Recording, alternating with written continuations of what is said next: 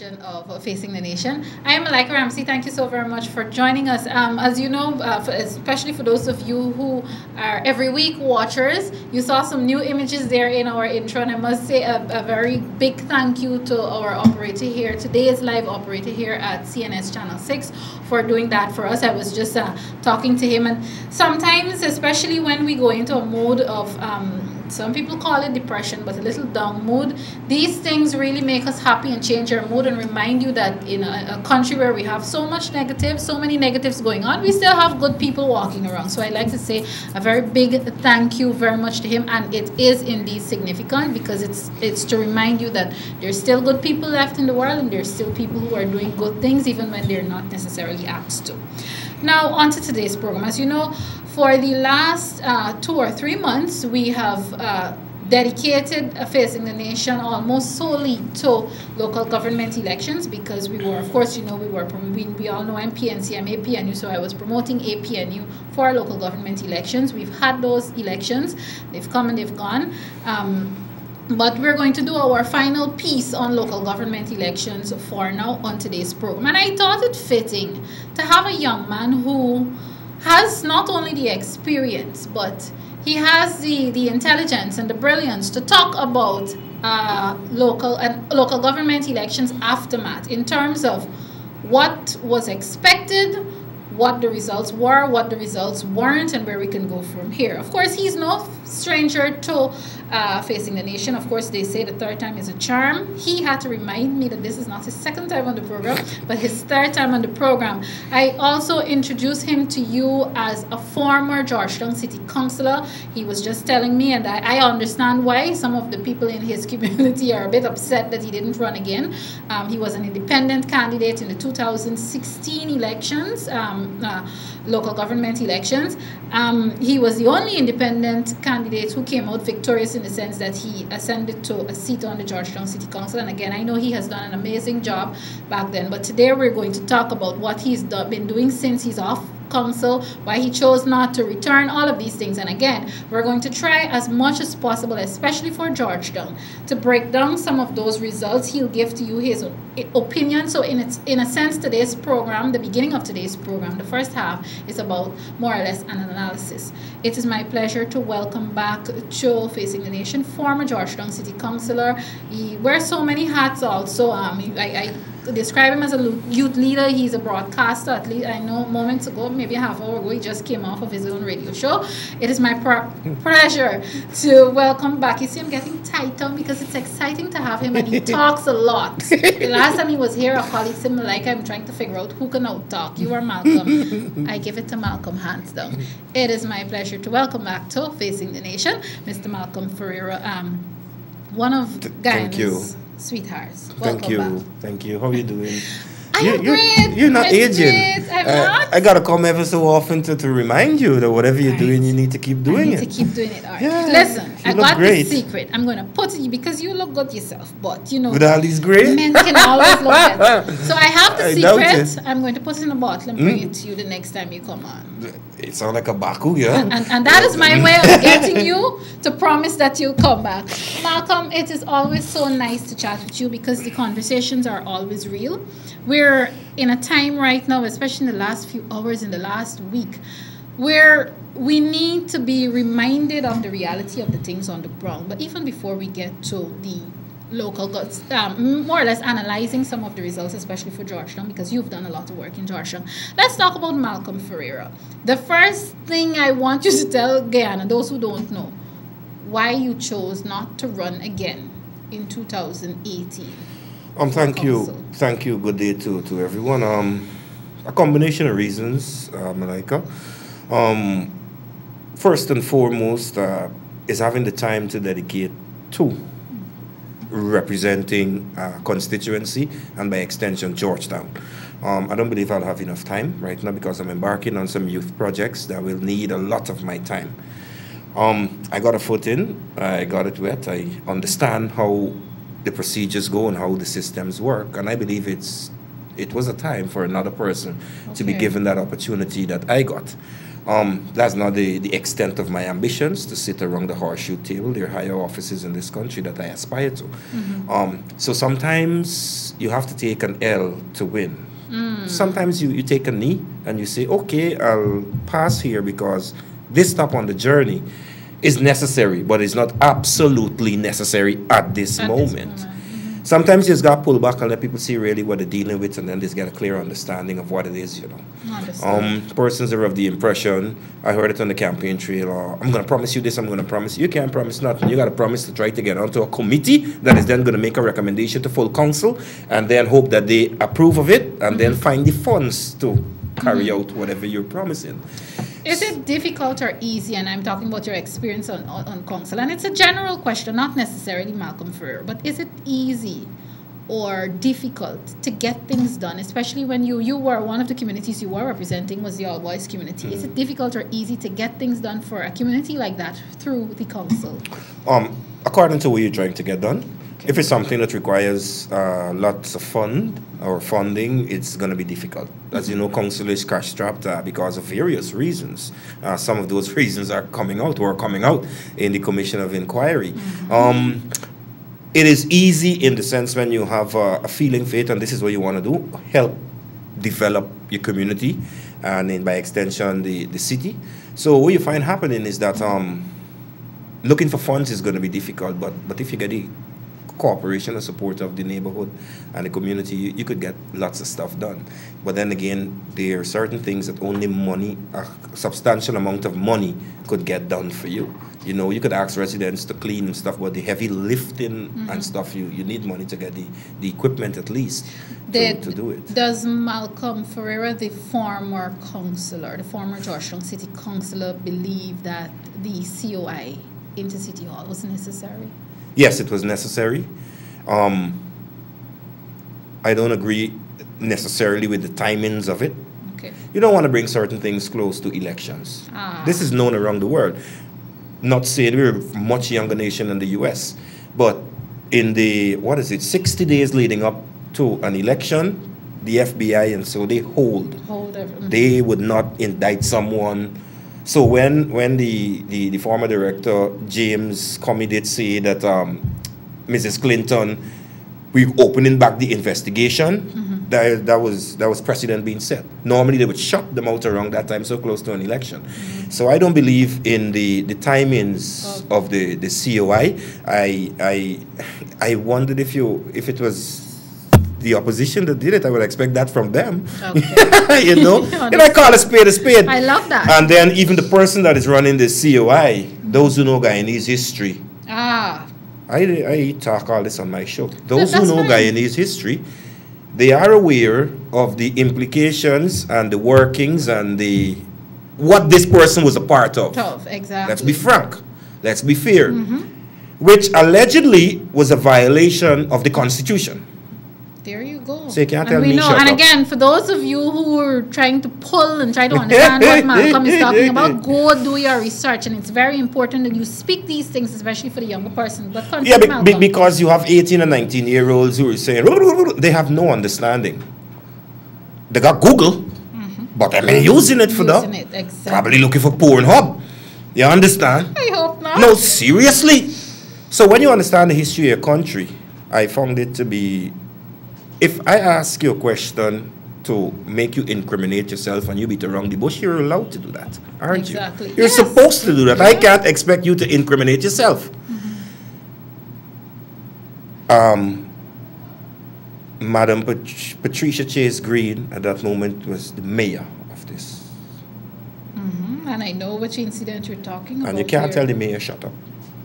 There you go. and it seems as though you're attacking persons who were there for you to your work is to gather information gather information you understand if you have to ask questions for it compile it as a report probably with recommendations and shut your mouth and do that Yeah.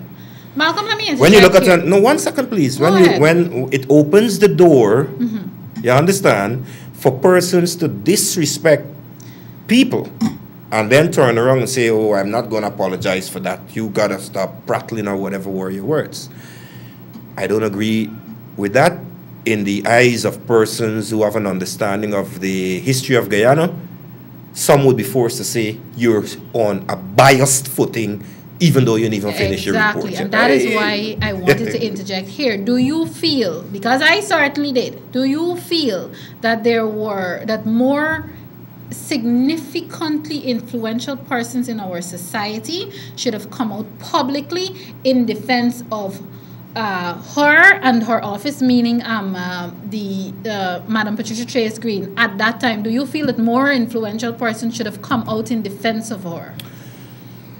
Well, in asking or thinking the person should defend, I, I know they're going to look at, at the person's track record, mm. but that incident really had nothing to do with your track record. That incident is, is calling it for what it may. Um, a question is actually supposed to answer and all that, but it should never be the stage where you're telling the elected official to shut up okay. when you were selected. Couldn't be me there, you know. Mm-hmm. That interview was over after reading him his history. exactly. And then I'm out of there. Sorry, you can't disrespect me. Mm-hmm. I wouldn't take that. Regardless, if you're interviewing the president and uh, you're trying to get information out of him and he goes around and around and around in and he's not answering you on point, you, you can't it. say shut up, even if it's a, well, you're going to say, oh, it's a commission of inquiry. It's different. They're not the police. Mm-hmm. Do they have legal powers to arrest? the questioning going down uh, on records and all this. This is not a, a police investigation per se. You understand? So if someone uh, refuses to answer a question, then you have to deduct why they're refusing and the surround to make a conclusion. Oh, you don't want to answer because it's probably this. Mm-hmm. And if they're going wrong and wrong and wrong, you ask them to go back. But to tell but the to tell mayor them. to shut up is a slap in the face, and everybody that supported Think about if you the supporting the mayor that was sitting there and they tell your mayor to shut up, to what would you would have feel? Exactly. And that's what happens in Guyana. We don't care enough for each other. Perfect. And that is why I always like when you come here because you're frank. I want to talk about even again, viewers, we're still going to be talking about uh, the aftermath of the local government elections. But before we do that, because I know there's still a lot more that you're doing, even now mm-hmm. that you're out of city council, I want you to talk about some of the things that you would have been doing uh, while you were councillor. You talk about talked about several youth groups and plans for others. How are those going, and what's what's new on the table, and how have you been working along with government, if I, at all? I don't like to. But presently, I'm I'm I'm doing. Uh, uh, I'm not under an NDA. No, I didn't sign a non-disclosure, but I'm not supposed to disclose. Not mm-hmm. um, but I'm doing. Uh, Say what you can. Mm-hmm. An educational project. Okay, all right. With the Ministry of Education, I think it's a great project for young people. Mm-hmm. Uh, that is going to be rolled out sometime soon. The deadline is, is quickly arriving. Mm-hmm. Um, my greatest failure was the not being able to continue the Myconi Future Leaders Youth Group. I, and I do apologize. We were almost 6,000 strong young people from 1 to 18 years old and, and I didn't get the, the, the, financial support to, to keep it going. You know, when I failed the children in that youth group, I did. Mm. I failed, you know. Um, I'm not going to blame the team. I'm going to blame myself. So we're looking to have that resuscitated soon. They're, we still have our group, you know, they're still active. And I don't want so much because they would abuse me. but I'm looking to resuscitate with the team, the Myconi Future Leaders Youth Group. Um, and uh, we're looking to head out to town and start another because due to the fact that we had the ambitious future leaders in Albouystown and Charlestown and the work that we did with them and the places they went and, and what they were exposed to, many children from other regions saw and were like, okay, come on. So we, we made an affiliation with a sister club at um, Success Craig success. Uh, they have a youth group up there, mm-hmm. over 100 strong, and we've linked with them. So there's a sister group, and we started Myconi, and Myconi, uh, we, we, didn't get to do it how we wanted to. So we're looking to resuscitate, and we're heading out to town to do some more work. I plan to work with, with, with elected officials in my constituency uh, because I believe it's important that we all play a part. We can't blame people if we don't uh, become or try to be a part of the solution. So while we're working, I'll hand over, I'll make a formal handover. I'm still a counselor, actually, you know. Yes, because they haven't been sworn haven't in, been sworn to, to kick us so, out. yes. my, my apologies. He's still a counselor. Yes. So they, they haven't done that as yet. Uh, congratulations to everyone. Mm-hmm. And uh, going in there, just put on your head, work hard. You got to compromise, but you got to stand up and you got to fight, and you'll get gray like Malcolm did. That is a must. Uh, viewers, if you're now tuning in today, my conversation obviously is with Mr. Malcolm Ferreira, no stranger to our country. We are talking post uh, local government elections, and as I did say, this is going to be our final conversation on facing the nation about local government elections. Um, for now, Malcolm, a lot, so many things happened pre local government elections 2018 and post, even mm-hmm. though post it's barely been a week, not even a full week. Um, first off, of course, we started off with uh, the a component of the government deciding to go on their own, mm-hmm. to run mm-hmm. on their own. There are some analysts now who believe that the what again is still the APNU AFC coalition as a government, even though they run separately as um, local government for local government elections. There are analysts out there who now believe that we are we have seen the results of that after the elections in terms of obviously the AFC did disastrous based on the numbers that we're seeing, even though GECOM has not officially put out a general statement as yet. But people believe that we're seeing the, the results, the consequences of running alone.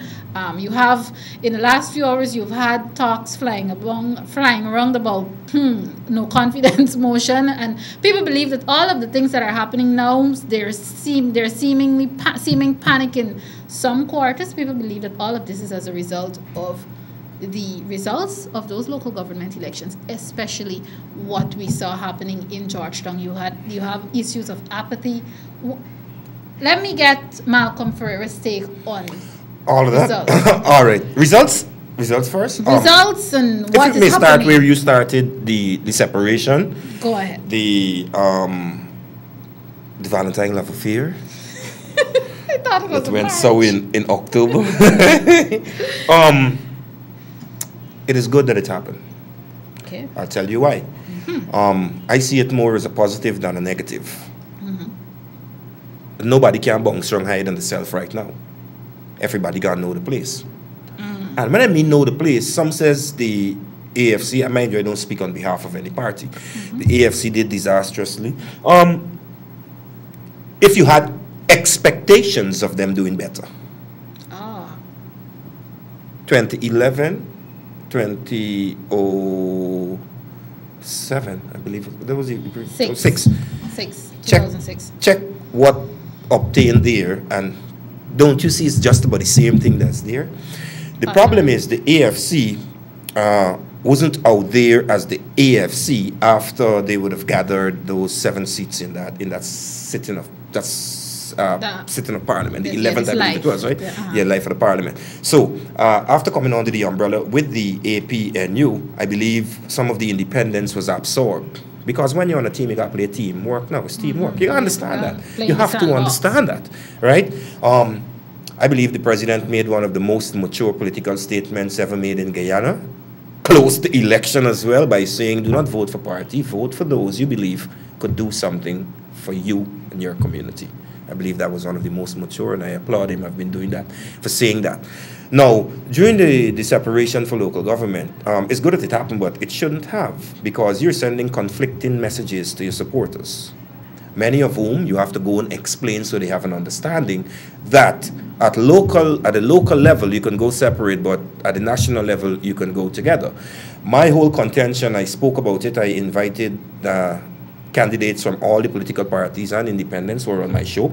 I believe that now um, they got a lot of work to do because, yes, the APNU, AFC leadership could come together, sit down, yeah, we talk and we good. But what happens to the man in the street who lives in Kitty and one living in Sophia that ain't gonna meet?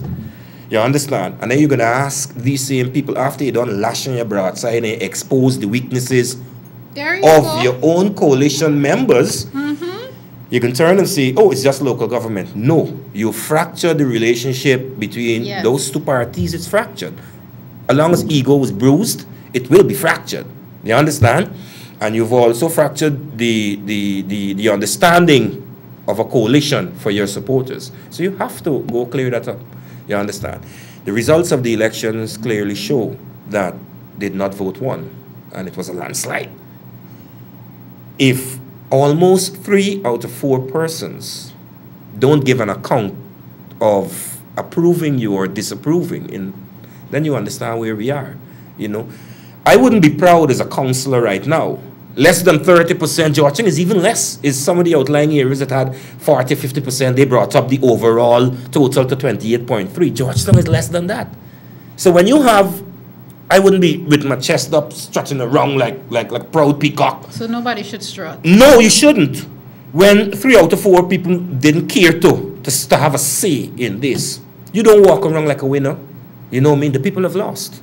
Because we know the midterm as this would be termed local government. Mm-hmm. It has a lower turnout. We understand that. But how do you dip under 30%? And how do you dip even lower in, in the, the capital? Should the coalition government, and, and, and this is according to Malcolm Ferreira's opinions and the people who you talk to and deal with daily, should the coalition government use this as a yardstick or should they worry about 2020? Um, you see, if the idea now, according to the analysts, young people didn't go to the polls mm-hmm. in the majority, the vast majority. Some of them blaming young people now. If it wasn't, if you already go, we yeah we would have done better. Why did they go? No, no, right. I, I so, would, in that case, I would defend the young people. But if, go ahead. If it is to get the young people to the polling station, 2020, then you're gonna lose.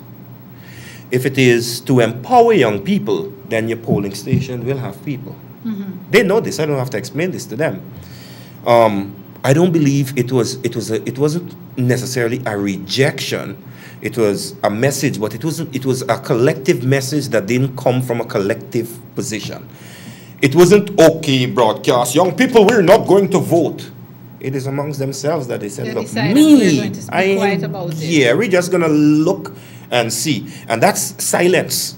That's the greatest message you should hear and it hurts. You know, it, it, it, has to hurt because everybody's still talking about winning, winning, winning. When will the Guyanese win? Because I'll tell you this here, Malika, and, and, and I've been saying this for years. I don't care who vex. Young people, they're going to have options. They need options. And if those options fall outside of your political party, be whatever, then you didn't get roast. Can't eat your dinner. That's it. Yeah, and even though we don't like it, there's always the option to not vote. Yes, there is. And it's a democratic right to not vote as well. Yeah, because it's not uh, illegal in Guyana to not you vote. know, so if you use them right off the box, promising them Thank you. the things that they, they, they look forward to. Oh, when I get in power, you're going to get this, you're going to get that.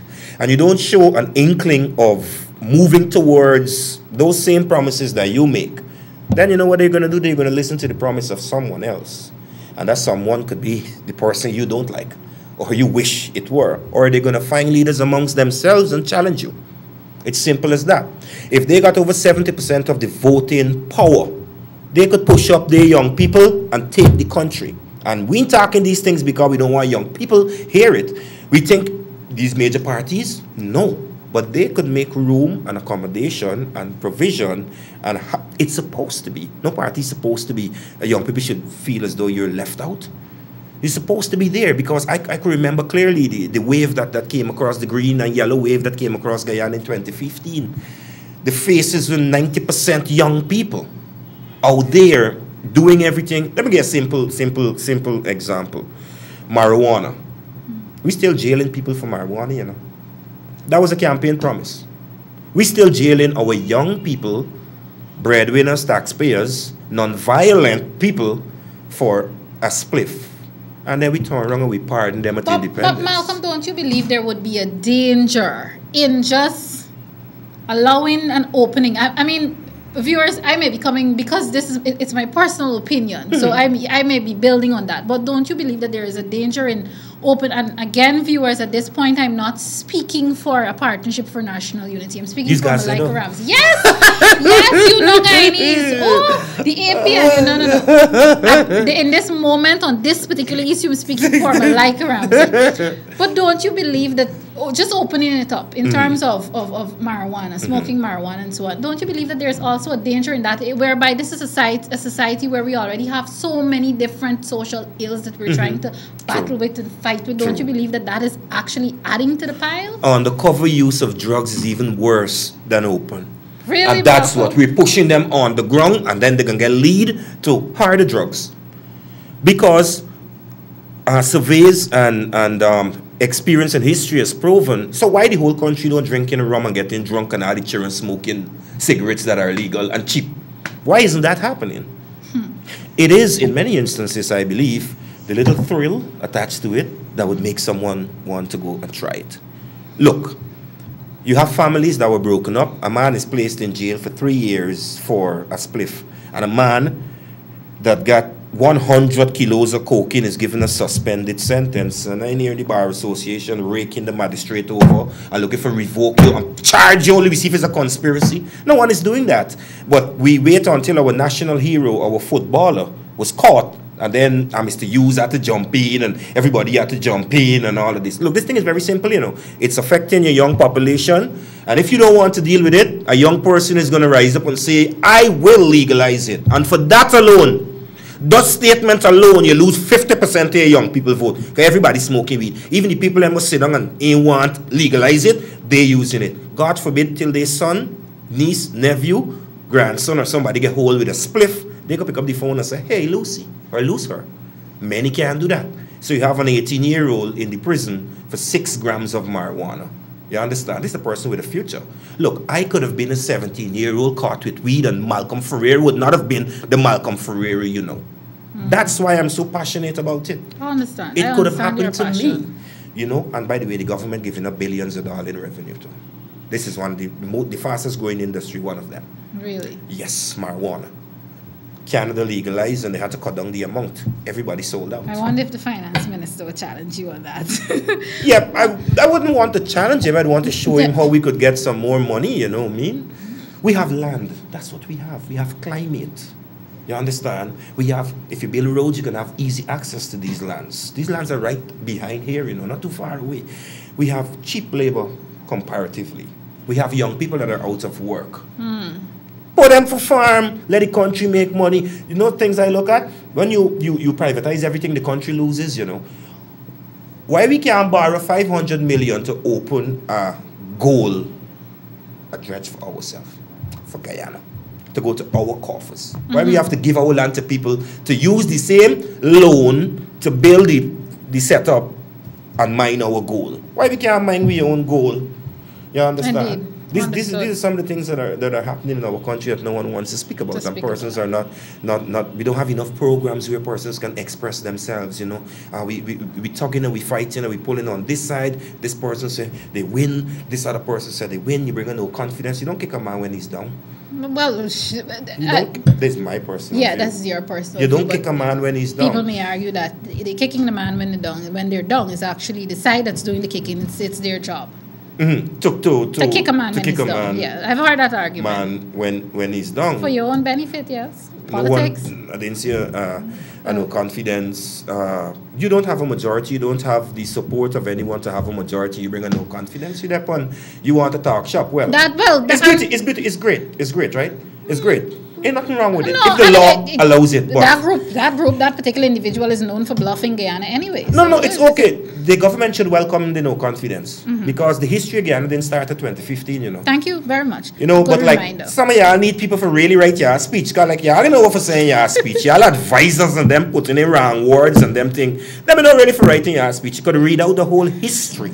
You want come and have no confidence? Come on, brother. Let's read out the 400 plus people that die and nobody never know. Let's read out that the drug lord put out a middle page ad in all the national newspapers saying, I use my money from drugs proceed to pay the teachers and the doctors and the nurses, the soldiers and the police. I'm looking straight in the camera. Supposed to give me the shot there.